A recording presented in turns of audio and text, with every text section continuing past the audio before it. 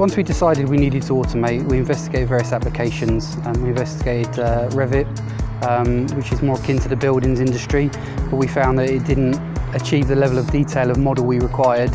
Um, we looked into Inventor and we created um, automated models using iLogic, um, but these were very big models, very complicated models. So we, we looked at Advanced Steel, which is built on the AutoCAD platform.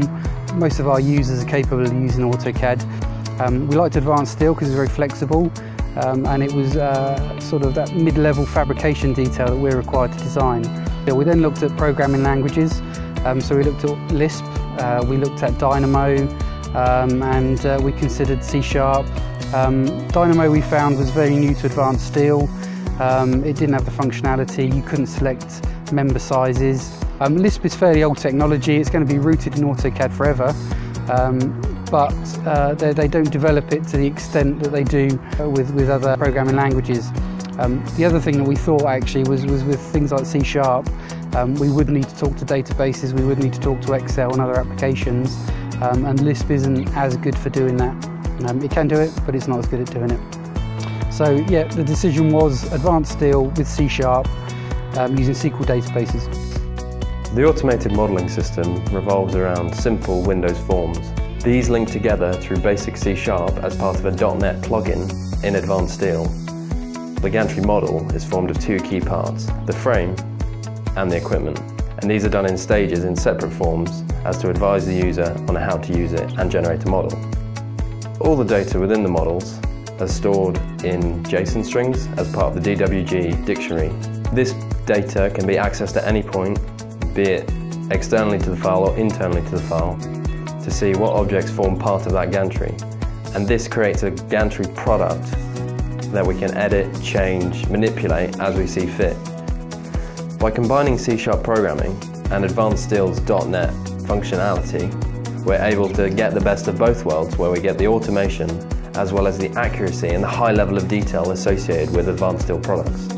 This leads to a much more rounded and detailed product that we can then give on to the client. So the automation has, has um, unleashed the models um, and, and now we can create the models and drawings at the same time but we wanted to make the models the main driver for the drawing. Um, so when we started looking at the automation of drawings, actually Advanced Steel's um, drawing capability is exactly what we needed. We've got to the process that we now use the Advanced Steel model, which is generated from C-sharp code, and the Advanced Steel standard drawing production macros um, to come up with a set of drawings that compliant with our standards and provide the client with all the information that they need.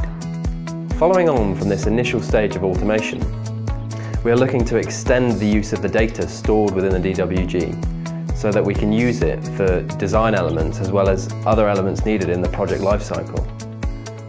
Currently, we are looking at the design side of the process. What we've decided to do is extend the use of the data stored in the DWG to create a model file from this.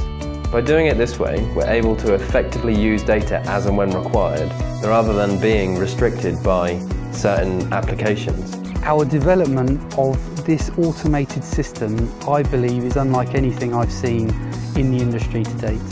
To bring product design um, principles to a civil engineering project um, where there is such variance in a gantry, particularly when you're looking at sign equipment um, and, the, and, the, control equipment that are required for the Smart Motorways programme. Um, it is, is, an amazing feat um, and something we're very, very proud of.